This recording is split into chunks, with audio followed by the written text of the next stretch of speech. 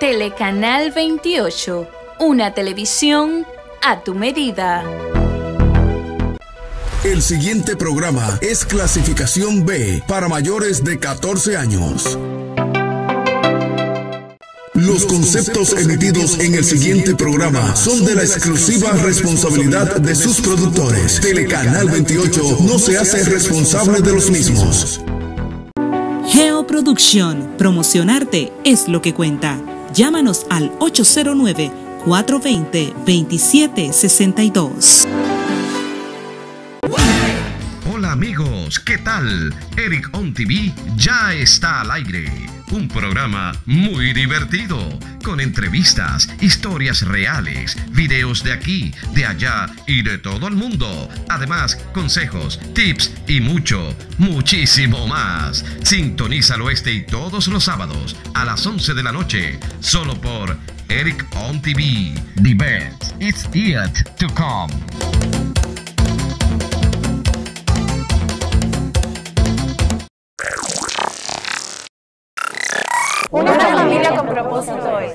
La que alaba a Dios y permanece en oración. Y busca la intimidad con Dios día y noche. La que prefiere obedecer a Dios antes que a los hombres. Las la que, se aman y se respetan mutuamente. Somos esa familia.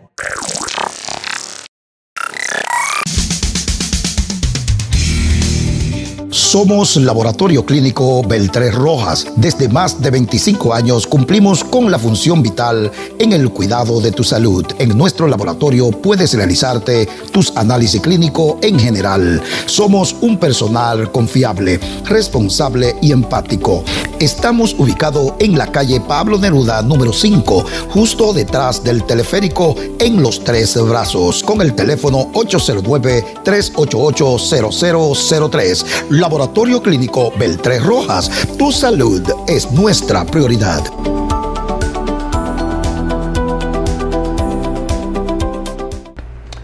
Pour mériter l'estime, il ne suffit pas faire des grandes choses, il suffit seulement de les avoir tentées.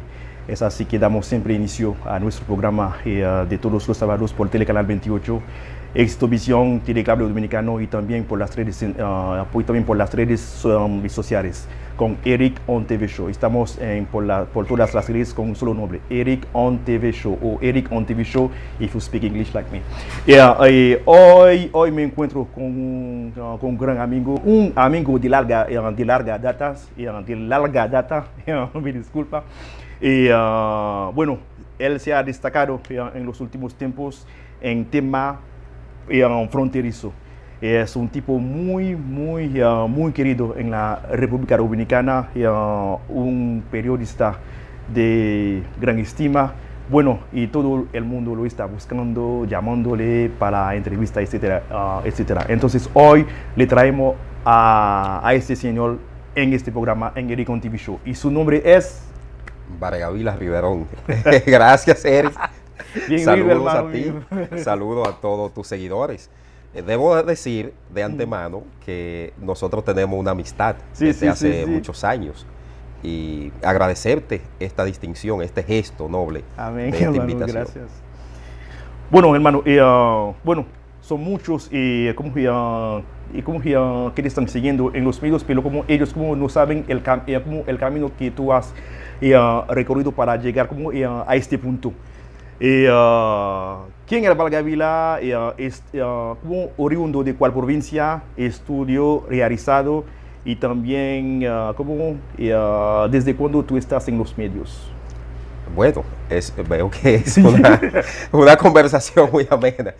Eh, ha sido todo un proceso mm. eh, desde mi pueblo, Dajabón, donde comienza la República, mm. donde nací, me crié y desarrollé gran parte de mi vida, mis actividades. Y a pesar de que hace un tiempo, pues me establecí aquí en la capital, nunca he abandonado mis raíces. Siempre he estado permanentemente en contacto con mi gente, mis familiares viven allá. Eh, los quiero muchísimo a toda la gente de mi pueblo. Bueno, pues eh, la historia es bastante larga. Voy a tratar de resumirla en, este, en esta plataforma majestuosa que como bien Sí, tú gracias. desarrollas, Eric On TV, TV Show. Show. Nosotros nos iniciamos en los medios de comunicación de manera empírica, hace ya alrededor de 15 años, Eh, justo allá en mi pueblo de Jabón, en, lo que, en el canal local de nuestro pueblo y participando en algunas, eh, algunas emisoras, algunos espacios radiales. Luego de ahí nosotros decidimos eh, seguir capacitándonos, seguir preparándonos para los retos y desafíos que nos deparaba Sí, sí. la vida y sobre todo esta compleja, noble, pero a la vez hermosa profesión del periodismo. Eh, salgo de Dajabón y me establezco aquí en Santo Domingo en el año 2011 eh, con el apoyo de algunos amigos y también el respaldo de ciertos medios, colegas. También provengo de una familia eh, muy humilde, muy humilde de la provincia de Dajabón. Eh, cuando salgo de, de Dajabón fue un gran reto y a la vez un desafío para mí. Eh, venir hasta acá, hasta la capital, donde era un, un- una, una demarcación, la urbe, Sí, sí, la sí. metrópolis, que no tenía eh, mucho conocimiento, no tenía eh, tanto, tanto manejo sobre la ciudad. Pero gracias a Dios y al apoyo de amigos, de personas que nos dieron la bienvenida, creyeron en nosotros y nos han dado todo ese respaldo para llegar hasta donde estamos hoy, eh, siempre poniendo delante la fe, la esperanza, los valores, los principios, eh, entendiendo que haciendo las cosas bien podemos llegar, podemos alcanzar nuestras metas, Así nuestros es. logros, podemos ver cristalizados nuestros sueños y alcanzar, alcanzar eh, las cosas que uno anhela. Eh, yo soy de los que pienso que no podemos pasar por este mundo, por esta vida, sin dejar un legado, sí, sí. pero sobre todo un legado en materia positiva, orar bien a favor siempre de las nobles y las mejores causas para ayudar a ser mejores personas y que logremos un mundo mucho mejor que el que eh, tenemos. Así es. Bueno, eh, hoy en día como ah, tú eres como ah, una persona eh, muy buscado. Bueno, y también como tu tiempo, como, cómo tú lo distribuyes, como, bueno, no sé cómo, pero cómo empieza un día de Valgavila y cómo termina, un día normal o un día como de trabajo. ¿Cómo Eh, empieza bueno. cómo un día? Interesante pregunta, Eric. Mm. Un día de trabajo mío, normal, como la mayoría de los dominicanos y dominicanas, que nos despertamos Mm. bien temprano, en la Mm. mañana, o algunos en la madrugada, Mm. a trabajar para llegar a nuestros lugares de trabajo, para hacer distintas actividades. Mi jornada inicia a las 6 de la mañana. 6 de la mañana y no tiene hora eh, fija para concluir. Eh, no tiene un límite. Eh, me levanto todos los días, doy gracias a Dios por un nuevo día.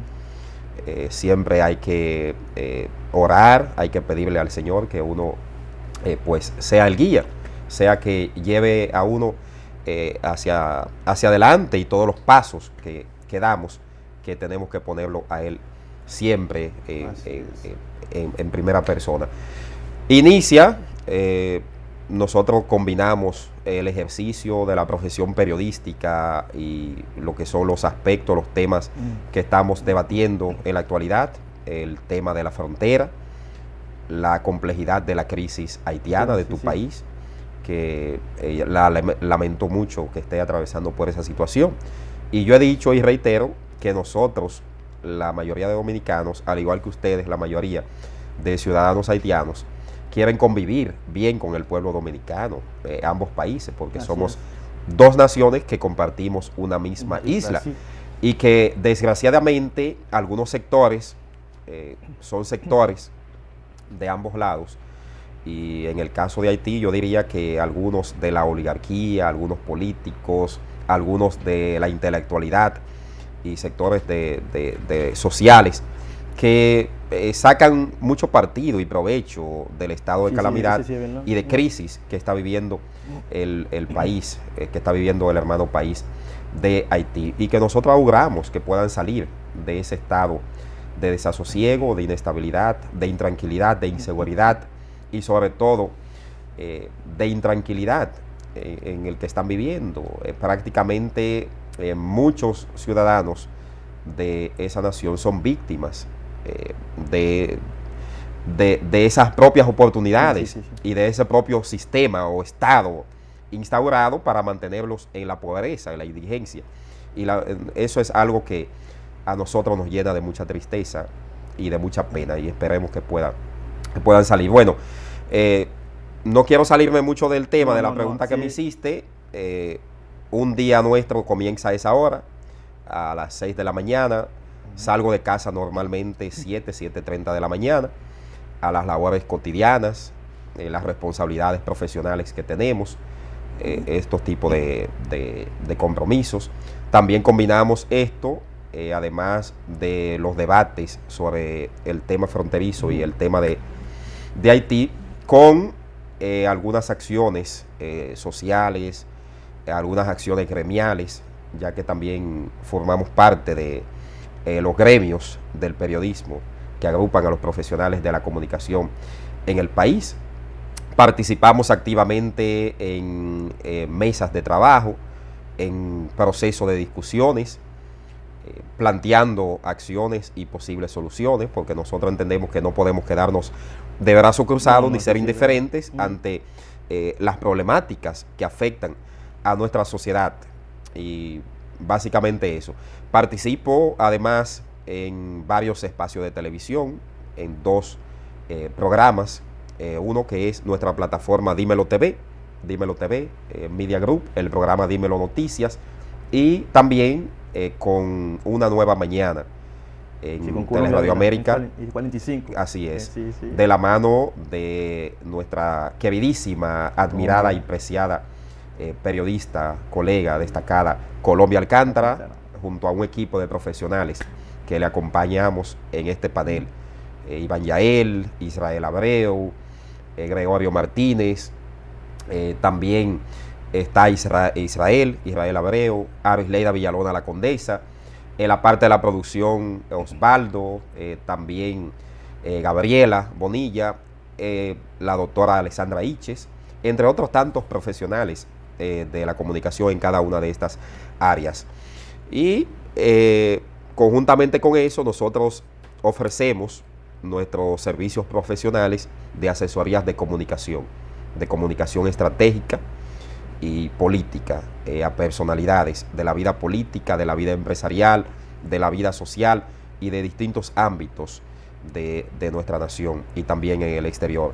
Ahora estamos desarrollando también, Eric, eh, algunas eh, conferencias, una serie de conferencias sobre el tema, migra- el tema fronterizo y el tema haitiano, eh, enfocándolo desde un punto de vista objetivo, abarcando lo que es la realidad Sí, sí, sí. porque he escuchado a algunas personas abordar el tema, el tema que nos ataña con muchas pasiones, con muchos resentimientos, Mm, eh, con visos de, de odio, y esa no debe ser eh, la prioridad, ni debe ser las razones. Entiendo que nosotros debemos construir, Así es. aportar a la solución de una problemática, porque el problema que están atravesando ustedes, eh, nuestros hermanos haitianos, eh, puede atravesarlo cualquier país y con esas condiciones sí. y afecta y Afecta repercute. mucho, sí, repercute. Obviamente que nosotros hemos insistido en que la solución a la problemática, la gravedad de la crisis que está atravesando en la actualidad Haití,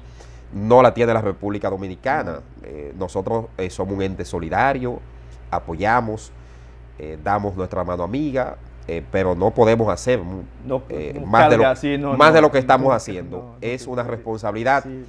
de potencia de otros países y de organismos internacionales que tienen también ese compromiso y que han sido eh, incompetentes, Mm. han sido dejados, han sido a la vez irresponsables eh, con esta realidad que están atravesando. Básicamente eso es lo que nosotros estamos haciendo en nuestra cotidianidad. Muy bien, tú, tú que estás eh, siguiendo como eh, eh, paso a paso como, como el tema fronterizo, como tú estás como siguiendo como, como esta crisis que como, esta crisis que afecta a Haití como desde como desde ante el magnicidio como de Jovenel Moïse eh, no sé cómo si puedes hacer como una radiografía eh, como eh, antes y después como de la muerte como, como del expresidente como hasta el sol de hoy. bueno, mm. Previo al asesinato del mm. presidente Jovenel Moïse, él venía arrastrando una serie de convulsiones, su gestión, mm. derivadas de esa propia inestabilidad y de algunas medidas que él estaba ejecutando en su gestión de gobierno y que a lo mejor no eran del agrado de algunos sectores que se veían afectados y aprovechaban esta coyuntura, pero Jovenel Mois era un elemento eh, incluso hasta desconocido políticamente. Él surge en medio de un proceso, eh, luego de que eh, el expresidente Michel Martelly concluye su mandato, que incluso permaneció hasta más tiempo de lo que le correspondía lo que les correspondía permanecer en el cargo de presidente, eh, lo propio Michel Martelly. Michel Martelly se podría decir que fue una ficha que utilizaron para ir, para presentarse y para que ocupara la presidencia de Haití. Eh, recuerdo que se produjo una crisis inclusive y que después eh, se obligó a algunos candidatos a retirarse en la contienda electoral en ese momento que dio como resultado la elección de Michel Martelly. Luego ya ven que Michel Martelly eh, concluye su periodo, eh, se están produciendo ya una serie de, convulsiones, de manifestaciones que están sembrando el caos y el desorden en las calles de Haití. Entonces buscan a Jovenel Mois, que es un empresario agrícola, eh, ¿no? Eh, de, la, de, la zona de Trudunor, eh, sí, sí, eh, próximo a Cabo de en el norte de Haití. Y entonces lo, lo, lo presentan, lo postulan y finalmente con el apoyo externo, con el apoyo externo de ciertos sectores de poder, entonces alcanza la presidencia de Haití, que incluso las elecciones fueron cuestionadas. Pero ok, después que alcanza las elecciones, asume el mandato, en medio de una situación eh, de que todavía Haití no se terminaba de reponer ni siquiera del terremoto que le había afectado. Esta es la fecha que hay personas que aún viven eh, eh, en, carpas, mm. en condiciones despauperadas, fruto de las consecuencias del terremoto de Haití. Entonces, ¿qué sucede con Jovenel Mois? Que al parecer este conjunto de disposiciones y cuando ya su mandato está concluyendo, que él dice, bueno... 2019, algo más o menos 2019, 2000, no, 2000, 2020. Su mandato concluye en 2020. Mm. Pero ¿qué sucede? Que él dice, eh, yo asumí un año tarde la presidencia de Haití. Entonces, si asumí un año tarde, fruto de esas mismas convulsiones que ya se venían eh, produciendo, entonces él decide hacer una serie de, de procesos, de movimientos, Ahí plantea la modificación a la Constitución de 1987, que es la que está vigente en tu país, y plantea un referéndum, un referéndum. Entonces, pero ya habían intentonas de darle un golpe de Estado, un derrocamiento en dos ocasiones, según los informes que nosotros tenemos. Eh, él no le hace mucho caso a eso, él continúa con sus pretensiones, eh, los sectores opositores a su gobierno habían recrudecido las presiones para que él abandonara el cargo y él, en una actitud, se podría decir, eh, de, borrachera de poder, como algunos le llaman, él decide que no va a, no va a ceder, va a permanecer en, el, en, en, la primera magistratura de Haití más allá del año 2020. Y entonces ahí se agudiza la confrontación, se agudizan los enfrentamientos, se agudizan eh, la crisis eh, de, su gestión de gobierno que ya venía arrastrando. A pesar de que él incluso apoya a grupos eh, aliados a él, como por ejemplo la banda del G9, Mm. Que fue creada en el 2020 por Jimmy Sí, sí. que se constituyó en uno de sus principales aliados, en un grupo de presión o de contención para evitar, para contener a las manifestaciones sí. callejeras que se estaban produciendo de la oposición y también con algunas bandas que estaban contrarias a su gobierno. Entonces, eh, cuando sucede todo esto, le dan apoyo a la banda del G9 de, de- de Jimmy Cherizier Barbecue. Eh, sigue ese proceso, pero ¿qué hacen? Se arma toda una estructura y ahí viene entonces la conjura y termina con el magnicidio a principios de julio de este año y que nosotros advertimos que luego de ese asesinato del presidente Jovenel Moïse se iba a agudizar la crisis, la crisis social, política y económica en Haití y la escasez y es lo que está ocurriendo ahora, precisamente. sí, sí. Bueno, hoy en día, como ya, su lectura, ¿cómo, cómo hay mejoría o cómo o se está empeorando, cómo, ya, o se está empeorando como, ya, la crisis? Cada vez que pasa el di- los días, Los días. empeora más. Empeora más. O sea, uno no ve una respuesta o una posible solución a corto plazo. A corto plazo de la situación haitiana. Puede haber una solución a largo plazo. Y se han planteado algunas eh, medidas posibles. Eh, por ejemplo, eh, el primero que planteó esas medidas eh, fue el presidente Luis Abinader en un encuentro con homólogos en la ciudad de Panamá, con su homólogo de Panamá y también su De homólogo de, Rica, de Costa Costa Rica. Plantearon cuatro acciones puntuales a la comunidad internacional para hacer frente a la crisis que está golpeando a Haití. Eh, una de ellas era, por ejemplo, el desarme, el desarme de, la- las bandas, de las bandas.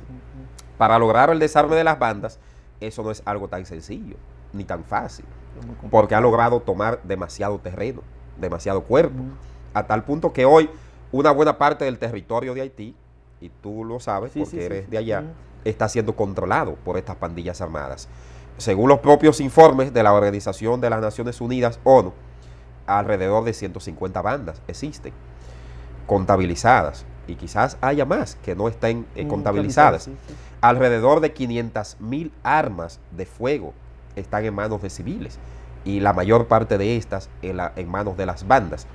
Otra de las acciones puntuales que se ha planteado y que nosotros la vemos muy viable es el establecimiento de un fideicomiso.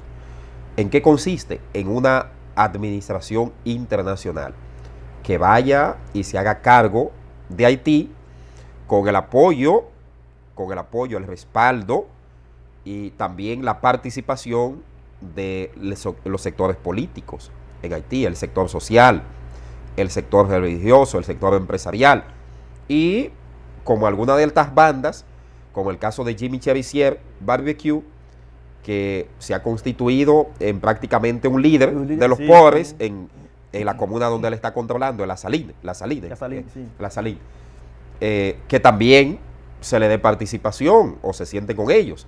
Aunque el primer ministro Ariel Henry y jefe de gobierno interino ha dicho reiteradamente de que él no va a negociar con pandilleros y que las bandas siguen siendo bandas y que siguen siendo delincuentes y que los van a enfrentar eh, a toda costa. Eh, pienso que es un enfoque errado, es un enfoque equivocado porque el poderío de las bandas ha desbordado la capacidad de respuesta que puede dar la Policía Nacional Haitiana o que puede dar el ejército o las Fuerzas Armadas Haitianas, que es un ejército eh, prácticamente muy reducido, muy limitado, con una cantidad limitada también de miembros. En definitiva, la solución que nosotros le vemos eh, a largo plazo a la crisis en Haití es la administración internacional con una intervención no limitada a lo militar, una intervención integral que vaya eh, acompañada de apoyo en términos eh, logísticos, en términos eh, de educación, en términos de salud, en términos de alimentación, porque hay mucha escasez allá, hay desabastecimiento, un apoyo en términos de seguridad, un apoyo en términos del turismo, en todos los renglones, en todos los sentidos. eh, de la industrialización también para generar empleos para los haitianos allá. Y esa podría ser una, una salida. Mientras tanto, eh, vamos a seguir viendo que esto seguirá ocurriendo. Seguirá el problema de la inmigración hacia nuestro país, a pesar de este conjunto de medidas migratorias que se han puesto en marcha. Pero es un problema, porque la presión la tenemos ahí. Y eso es un asunto también de supervivencia. Es un asunto de humanidad. Sí, sí, sí. y nosotros lo hemos planteado. Ahora, no por eso vamos a dejar de aplicar nuestras leyes y la constitución de la República en el país. Pero entiendo que eh, esto debe ser abordado de manera seria, eh, de manera transparente, con un enfoque general, un enfoque global, un enfoque integral por parte de esa comunidad internacional y por parte de esas potencias que le deben muchísimo a Haití. Bueno, lo que dicen que son amigos de Haití, como, ya, como ya las grandes potencias, como bueno, ellos como han dejado como, bueno, puedo decir que 90% de la carga como a la, como a la República Dominicana. Bueno, es muy lamentable, pero es así. Pero, eh, valga, eh, ok, tú estás como colaborando con muchos medios, pero, eh, como, ok, nos gustaría saber cómo son esos medios, como, okay, que, como que te suministran esas informaciones o como o tú tienes como tu, tu fuente o tu corresponsal en Haití. Allá. Una pregunta curiosa, ¿eh? bueno, tú sabes que uno, como profesional del periodismo, eh, pues uno utiliza los mecanismos que tiene eh, que tiene a la disposición y que las leyes le permiten. Las fuentes de información, diversas fuentes mm. que nos suministran la información. Ahí están las fuentes oficiales y también las fuentes no oficiales. Obviamente que nosotros eh, contrastamos las informaciones mm. que nos suministran, porque hay algo, y me ha preocupado muchísimo esto, eh, de que esta crisis en Haití hay personas, hay desaprensivos que la han aprovechado para divulgar, para eh, hacer alusiones, para promover falsedades, imágenes, contenidos gráficos que muchas veces están muy lejos de Haití, mm. que no tienen nada que ver con Haití, y sin embargo son promovidos y son colocados como que están ocurriendo en Haití. No, eso es, sin embargo, no es así. Mm. Y por eso el tema de estudiar la crisis haitiana, de estudiar eh, todo lo que tiene que ver con la frontera de nuestro país, la frontera dominico-haitiana, desde Montecristi hasta Pedernales, eh, pues nos ha llevado a nosotros a tener que realizar muchas experticias, eh, muchas investigaciones, numerosas indagatorias, y eso es lo que nosotros hacemos, consultar, recibir informaciones, para luego suministrarla y darlas a conocer, porque no podemos estar ajeno ni podemos estar distante eh, a la realidad, a la realidad haitiana y a la realidad fronteriza y a la realidad tampoco de la República Dominicana. Bueno, pero ¿tú crees como, que Haití puede retomar el camino al desarrollo con o sin la ayuda de la República Dominicana? Mira, la República Dominicana ha sido un sostén, un soporte mm. y una mano muy solidaria para Haití. Yo decía en espacios que me mm. he tenido la oportunidad de participar abordando el tema de que nosotros como país vecino hemos sido eh, una especie de oxígeno para Haití. Eh, y tú me perdonarás. no, es así, no, es así. Eh, no necesariamente tienes que estar de acuerdo conmigo, porque las opiniones eh, divergentes, el disenso debe respetarse en cualquier escenario. No, la verdad pero, pero nosotros, nosotros como país hemos sido una especie eh, de tanque de oxígeno eh, para auxiliar, para ayudar a Haití, independientemente de todo lo que se quiera decir, de que haya sectores que asusen, que nos critiquen, que nos cuestionen, que nos ataquen por las posiciones que asumimos. Este conjunto de medidas, por ejemplo, que ha adoptado el gobierno dominicano en la actualidad, a través del Consejo Nacional de Migración, no, el, gobierno ni siquiera a lo mejor quería adoptarlas, pero es que tenemos un problema grave en el país, eh, como lo tienen otras naciones, que también aplican políticas migratorias drásticas. Por ejemplo, el caso de los estudiantes, del visado temporal Mm, para estudiantes, que es una prerrogativa, un privilegio, una especie de, de dispensa que se le entrega a los estudiantes del vecino país de Haití, eh, para que puedan venir a capacitarse, a prepararse aquí al país. Pero ustedes saben por qué el gobierno decide suspenderlo. Es porque estaba siendo utilizado como una, una estructura mafiosa, donde por ejemplo en las universidades hay menos de 10.000 estudiantes inscritos recibiendo docencia de nacionalidad haitiana, pero sin embargo en el registro de los visados aparecen alrededor de 80.000. O sea, algo totalmente descabellado. Sí, sí, sí, sí. Entonces, ¿qué se va a hacer ahora? Y esto es lo que entiendo, lo prudente, lo que debería ser, uno por uno, lo considerable, hacer un proceso de depuración o una auditoría a ese proceso de esa cantidad de estudiantes haitianos que están recibiendo, que están o que han, eh, cons- han conseguido, han logrado obtener este visado para poder venir a capacitarse aquí al país. Lo propio con el Plan Nacional de Regularización de Extranjeros, que surgió post sentencia 168-13 del Tribunal Constitucional. El plan tuvo muchas irregularidades y por eso entonces ahora se decide hacer una auditoría. Eso es lo que se está haciendo. No es ni siquiera un tema de discriminación, ni de, persecución, eh, eh, ni de querer tampoco eh, desmeritar o de atacar o de maltratar o de violar derechos humanos. El tema, por ejemplo, eh, de, de- de la carga para el sistema de salud pública que estaba significando eh, la gran cantidad eh, de personas de- sí, del vecino tiene. país. Mm. Y no solamente parturientas, sino también otras personas de, de Haití y de otras nacionalidades también que acuden a recibir asistencia médica. Pero en el caso de los hospitales de las provincias fronterizas del país, ya habían sido convertidos en hospitales binacionales. Entonces, al ver esa realidad, habían convertido el tema de las parturientas haitianas en un negocio, porque una cosa es la salud como derecho fundamental humano, que no se le debe negar ni se le puede negar a nadie. Pero convertir esto en un negocio lucrativo con la complicidad de algunas autoridades y algunos malos dominicanos, ese es el grave problema que estábamos teniendo y se ha decidido enfrentar con estas medidas migratorias. Sí, así es. Pero como que la dicen, como es así. Bueno, Valga, como, ah, ah, antes como de irnos eh, a la primera pausa, Valga. Bueno, eh, no sé cómo, si, como, si dentro como de esas entrevistas que tú estás participando, hay una pregunta que te gustaría que ellos, eh, no, que, ok, que te gustaría, que te gustaría que te hiciera como eh, los periodistas que nunca te han hecho. No sé cómo si, si habla una pregunta como específica, no sé si hay. Bueno, eh, son numerosas las preguntas, eh, pero una de ellas es Mm.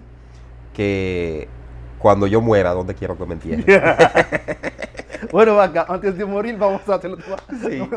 vamos a, tomar, eh, vamos a tomar una pausa. Eh, en breve, señores, eh, volvemos. Eh, ah, y por favor, no, no olvide de, suscri- ah, de suscribirse ah, en el canal de Eric on TV Show si aún, no, si aún no lo has hecho. Estamos presentes como en Facebook, en Instagram, en YouTube con un solo nombre, Eric on TV Show. Y también estamos eh, eh, saliendo por Telecanal 28, Extovisión, Telecable, Telecable Dominicano, Viva Live TV. Y, ah, y también si este programa llega a ustedes es gracias a la, a la Iglesia de Cristo en los Tres Brazos y también al Laboratorio Clínico Beltré Rojas. Pausamos, en breve vuelve Eric on TV Show. Quédense ahí. Sin ti nada somos en el Una familia sin Cristo es un cuerpo sin alma y es un barco a la deriva. Después de Dios, tu familia es lo más importante. Lo más valioso que jamás podrás tener. Ama a tu familia de principio a fin, sin medida. Es el seno espiritual donde se fomentan las costumbres y las creencias que irán siempre contigo. Porque donde quiera que vayas, siempre serás parte de ella. Y recuerda que es hermoso tener una familia en Cristo Jesús. Esa familia es la que va para el cielo.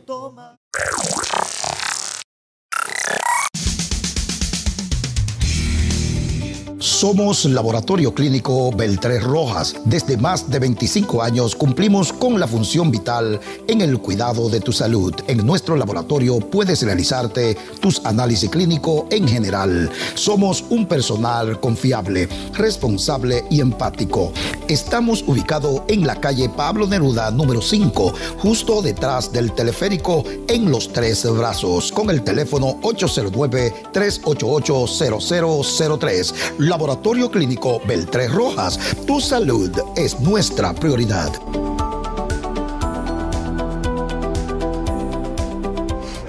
Seguimos aquí en su espacio Eric On TV Show, conversando con un hermano por, por, primera vez, con Vargavila Riverón, de allá de donde vengo yo, de la frontera. Y hablar hoy de la frontera es un tema tan complejo, tan delicado, tan sensitivo, que abordarlo siempre es un desafío, porque hay que hacerlo con mucho cuidado, dado los niveles de sensibilidad que este tema tiene tanto de este lado de la República Dominicana como del lado haitiano.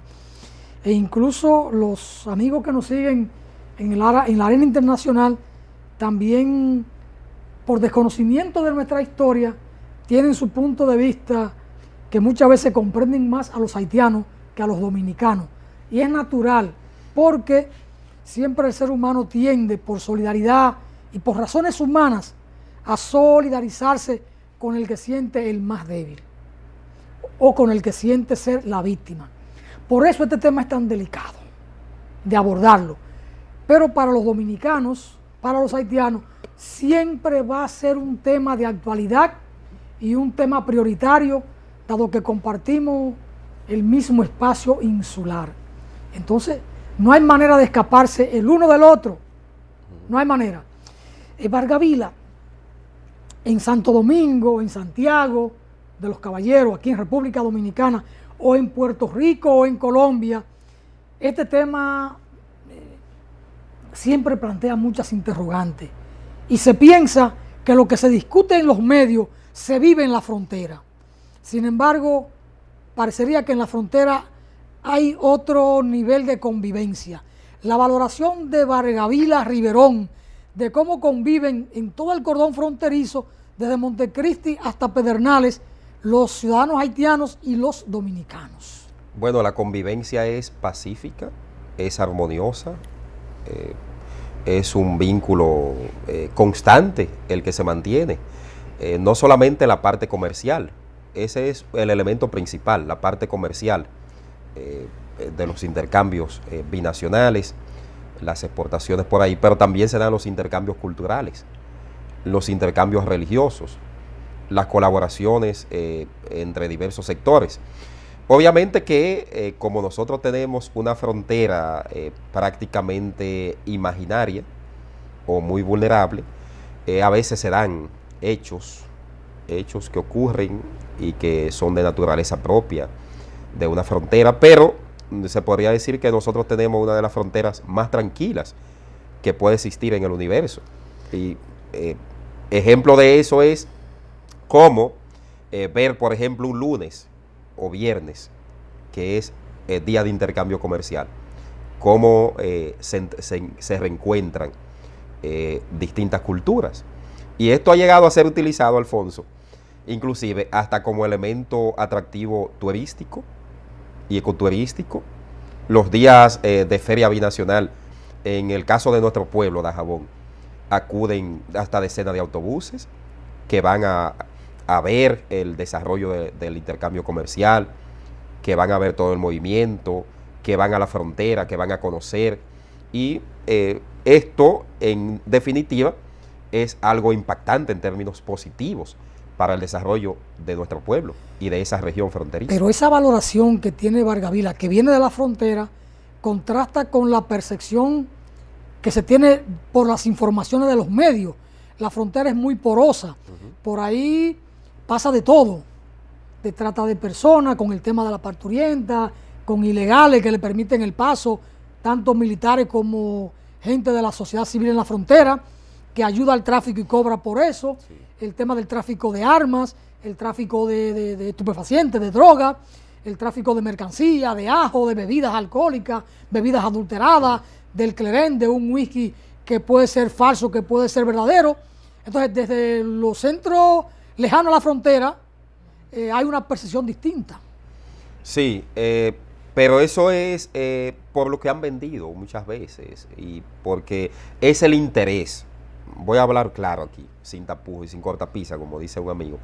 el interés de algunos sectores, de ambos lados, que quieren mantener ese estado eh, se podría decir, de, una relación eh, convulsa, eh, de, implantar las diferencias, el enfrentamiento, la diatriba, y pienso que eso no favorece. Aunque Haití, debo decirlo con responsabilidad, es el vecino que muchos países no quieren tener por la propia situación que están pasando en la actualidad y que históricamente han atravesado ante la indiferencia de muchos sectores y de la comunidad internacional y de algunas potencias, pero es la realidad, es la realidad de la isla hispaniola que tenemos que convivir, República Dominicana y Haití. Obviamente, y siempre hago énfasis en esto, en el imperio de nuestras leyes y de la constitución, y que eso es fácil de aplicar, pero eh, debemos convivir. Y yo soy partidario de que aquí eh, se conviva, porque si usted le cierra la frontera, por ejemplo, a los pueblos eh, fronterizos de nuestro país y decide cerrar, como he visto que han planteado algunas personas, entonces el problema será mucho peor, porque la crisis, la crisis que está atravesando Haití, que el único oxígeno que está teniendo, se podría decir, a la República Dominicana, por donde están respirando, por donde están recibiendo alimentos, por donde están recibiendo combustibles, por donde están recibiendo otro tipo de apoyo logístico, entonces se convertiría en una bomba de tiempo. Y esos miles de soldados que han sido enviados a la frontera, si se produce eso, estallaría todo, entonces cuando los soldados tengan que apuntar y producir una masacre, que Dios libre que eso ocurra, porque una, un éxodo, una inmigración descontrolada, aunque tenemos un flujo migratorio irregular, que eso no se ha parado, a pesar del reforzamiento de la frontera, eh, puede haber controles en ciertos puntos, pero, por ejemplo, recientemente apresaron alrededor de 200 indocumentados, solamente en una comunidad, en la localidad de Santa María, eh, por la provincia de Montecristi, ayer, y fueron eh, apresados en el marco de esa operación del cerco fronterizo como ellos la han denominado, que es una operación conjunta que está desarrollando el Ejército de República Dominicana, el Cuerpo Especializado en Seguridad Fronteriza y eh, también la Dirección General de Migración. Pero un asunto también de voluntad y de supervivencia, de subsistencia. Y por eso es que buscan. Ahora, no se justifica que se permita ese, ese masivo tráfico irregular hacia el vecino, hacia, hacia la República Dominicana, porque eso ha impactado negativamente, ha impactado en el sistema de salud, ha impactado en, los demás sectores de la vida nacional. Todo eso es verdad, pero la frontera sigue siendo porosa y sigue pasando de todo por la frontera. Y por más militares que se coloquen allí, sigue pasando de todo. Pero hay la percepción de este lado de que a Haití históricamente no le ha interesado controlar la frontera, que a las autoridades haitianas no le interesa controlar eh, que sus nacionales vengan para acá y lo ven como que ese es un problema nuestro si lo dejamos pasar o no. Eso es verdad. Es cierto que... Hay esa percepción. Es cierto que ellos no le ha interesado controlar la frontera. El ejército eh, haitiano que lo reactivó eh, el asesinado presidente Jovenel Moïse comenzó en el 2018 y terminó en el 2019 de, de reestructurarlo o de relanzarlo. Más bien, comenzó con alrededor de 200, 200 efectivos militares, me parece que es un número muy reducido, es una cantidad muy limitada para un, país fronterizo. Haití ahora mismo no es un estado eh, que se pueda decir, eh, vamos a sentarnos en una mesa del diálogo, vamos a establecer una serie de acuerdos y vamos a darle seguimiento y a cumplir esos acuerdos, porque no hay una autoridad eh, que tenga ese peso, vamos a decir, que tenga, que esté revestido de esa investidura porque tampoco eh, esa clase que le ha tocado gobernar Haití ha, ha sido responsable de cumplir y dar seguimiento a esos acuerdos. Pero como usted bien ha señalado, la frontera sigue siendo vulnerable, sigue siendo una preocupación para nuestro país. Ahora, ¿qué yo veo? Que Haití hace tiempo también debió asumir un papel de mayor colaboración, pero para ellos es más fácil, y hablo aquí de quienes le ha correspondido tener las riendas de Haití, la clase política, una parte de la clase oligárquica y el sector empresarial, y también algunos, eh, algunos eh, eh, intelectuales que ni siquiera viven allá, que viven en la diáspora haitiana, viven fuera del país, para ellos es más fácil tener a la República Dominicana como una posible solución ante la gravedad o ante el problema de, de su país. ¿Por qué no se reúnen? ¿Por qué si en Haití hay muchos cerebros pensantes, cerebros intelectuales con condiciones extraordinarias? Que los hay. Lo que pasa es que ellos eh, no quieren asumir un rol protagónico frente a la realidad histórica que está viviendo ese país. ¿Y qué hacen? Dejar que se sigan ahogando, que siga empeorando la situación, que la República Dominicana siga cargando con la problemática. Y no puede ser, no puede ser. ¿Cómo es posible que el eh, Estados Unidos, por ejemplo, en voz de su secretario o subsecretario para asuntos de tráfico de drogas, en el hemisferio occidental, Todd Robinson, diga que Estados Unidos no va a apoyar a Haití para que salga de esa crisis, cuando ellos tienen un grado de responsabilidad histórica. En ese aspecto, ¿qué puede estar pasando? Yo vi las declaraciones de este funcionario de que Haití deberá resolver los problemas de seguridad. Su problema de secuestro, de Pero no solamente un problema de seguridad que tiene Haití. ¿A qué está pasando acá con esta declaración de este funcionario? Están esperando a recuperar los 17 ciudadanos norteamericanos y el canadiense que están secuestrados y después actuar o están apostando a un agravamiento de la situación interna en Haití y que entonces haya la explosión y que de alguna manera la carga se arregle en el camino. Ahora, si interviene en Haití una potencia, China o Rusia, para inversiones o para hacer negocios, para tener allí una presencia, o firmar un contrato, por ejemplo, para la minería. Se dice que en Haití hay muchos minerales. ¿Tendría Estados Unidos la misma actitud de hoy de decir que no se va a meter en, el tema de la crisis haitiana? Pienso que no la tendría esa misma actitud, porque es un asunto de competencia, eh, de geopolítica o geoestrategia. Aquí, eh, a la conclusión que yo he llegado es que hay un juego que se está jugando. Eh, no sé específicamente cuál es el juego pero hay, hay una especie de, juego de ajedrez que está jugando Estados Unidos y el propio Francia también eh, en, torno a todos este, estos elementos. Pero no un asunto eh, de una intervención de un país específicamente, eh, porque las intervenciones militares está comprobado, está demostrado que las intervenciones o la ocupación militar por sí solo no ha logrado resolver el problema. La última intervención militar fue en el año 2004 o 2005, después del derrocamiento. Tienen 20 años ahí con la minuta. Exacto, después del segundo derrocamiento del expresidente Jean Beltrán Aristide. Y lograron resolver el problema. Por el contrario, fue agravado. Entonces, eh, Haití no se le ha permitido tener autodeterminación. Pero habría que ver y poner en la balanza si ellos tienen la capacidad como país, como territorio o como Estado, aunque sea un Estado fallido, de, tener esa, esa autodeterminación por sí solo sin el apoyo, sin la, intervención, sin el acompañamiento de sectores internacionales o la propia comunidad internacional. Pienso que no lo tiene.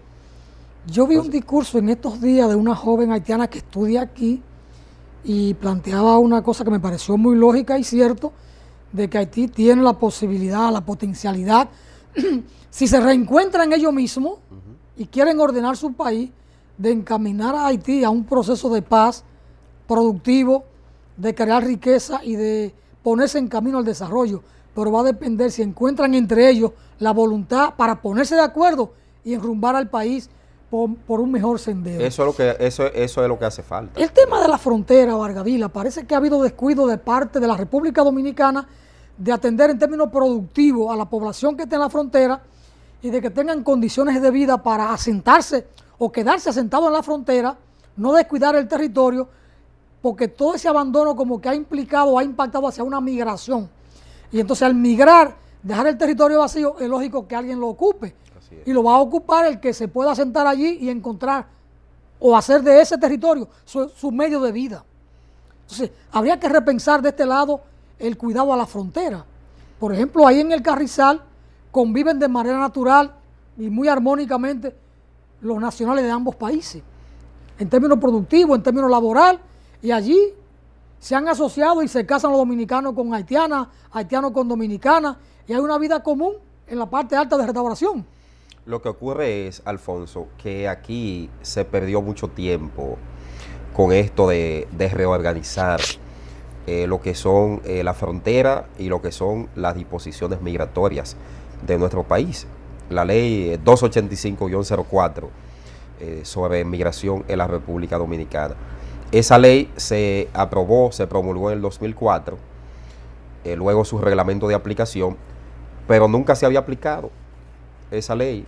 Nunca, eh, por diversas razones, por falta de voluntad política quizás, por presiones internacionales, por la colocación de camisas de fuerza, de que, eh, o chantaje internacional, o injerencia, o que quienes no gobernaban anteriormente quizás no querían eh, buscarse enemistad o buscarse pleitos innecesarios, según ellos, o buscarse incomodidades que esto podría generar con eh, estamentos internacionales que apoyan a la República Dominicana eh, en términos económicos y, también en cooperación.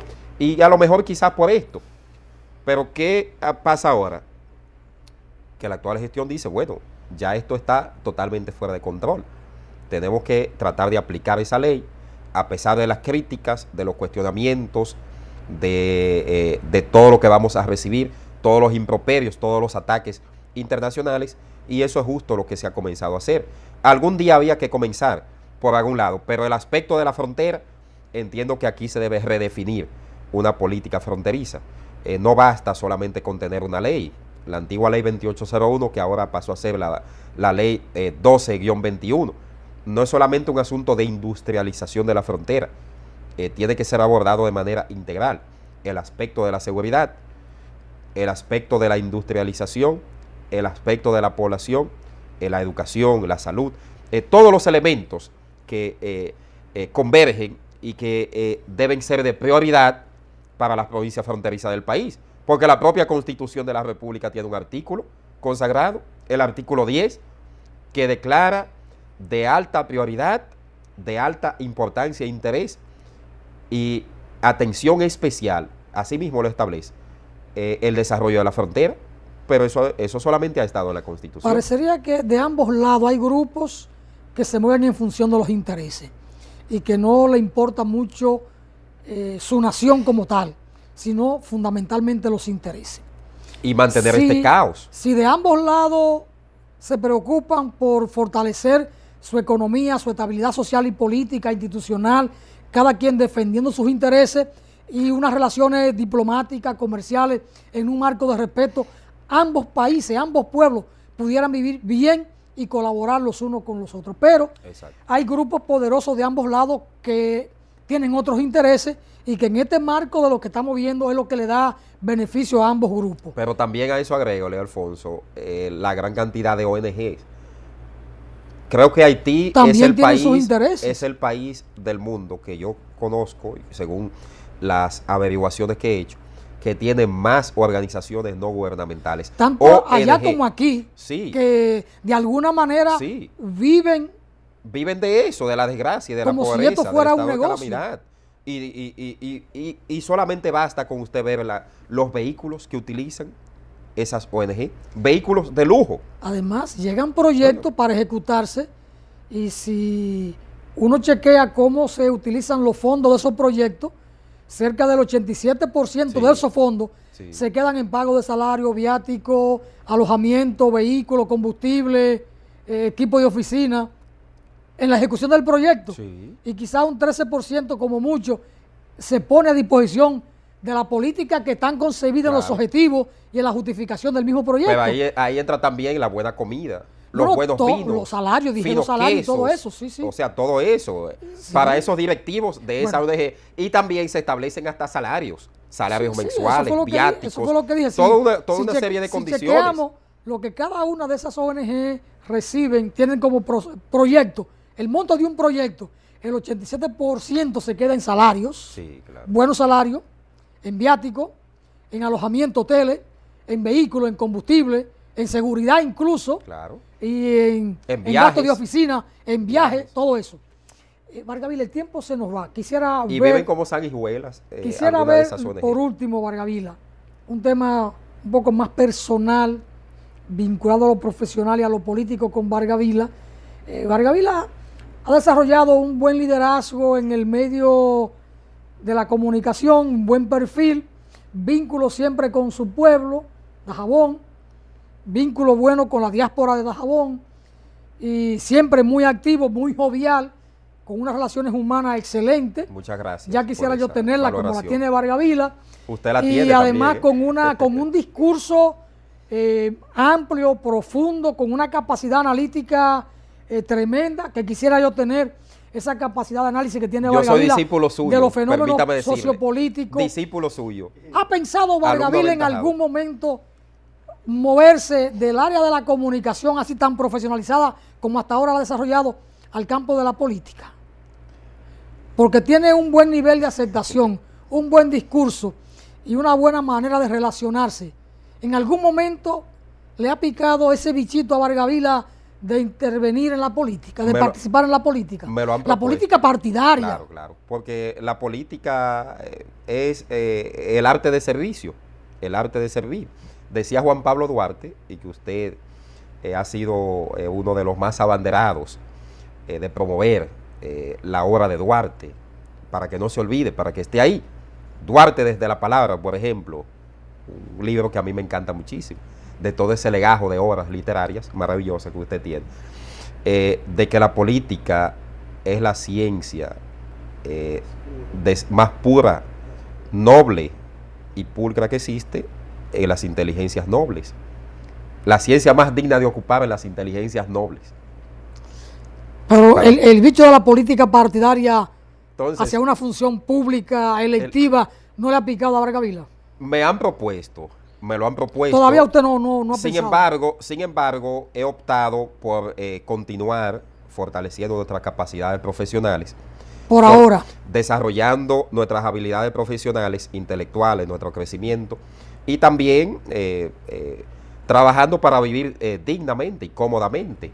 En lo que es la parte política, eh, no he decidido eh, participar activamente con esto de postulaciones, de candidaturas.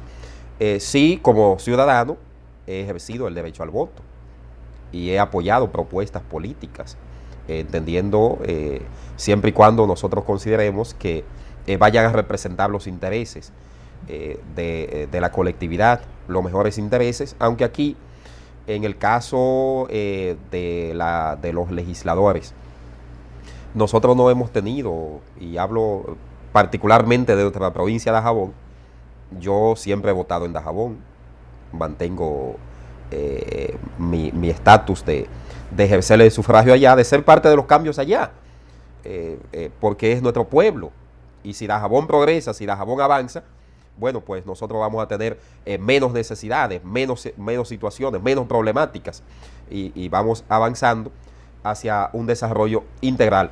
Eh, sin embargo, no lo descartamos.